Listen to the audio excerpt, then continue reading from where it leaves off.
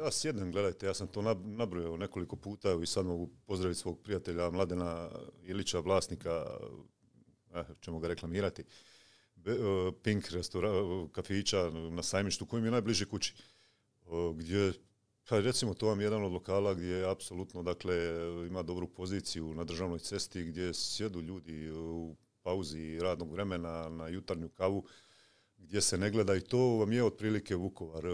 Ali ono što je ključno, dakle u koji god lokal sjednete na području grada Vukovara, vi problem nemate. Mhm. Naručite što god hoćete, opušteno sa prijateljima, nemate apsolutno niti u jednoj primisli da će vam se, ne trebate imati da će vam se bilo što loše dogoditi.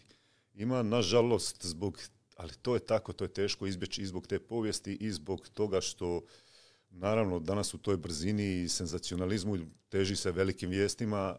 Mene to uvijek sa žalošću ovaj, iznesem jer je mene frapiralo kao čovjeka gdje mi dolazi jedna delegacija iz Indije, poslovno, mm, dakle, Srbije, da. iz Srbije, gdje je jedna velika gospodarska zona i s tim ljudima i dan danas smo u kontaktu, gdje ljudi zovu iz protokola, dakle, grada i pitaju jel oni smiju doći u Ukor sa srpskim tablicama. Mm-hmm.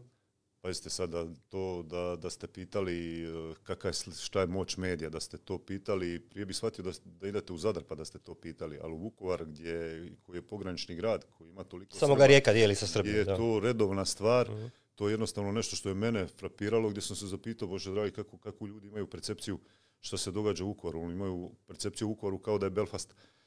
Naravno da, da je to bilo umjetno stvoreno da ljudi kad su došli vidjeli, shvatili su da to zapravo nema veze s vezom.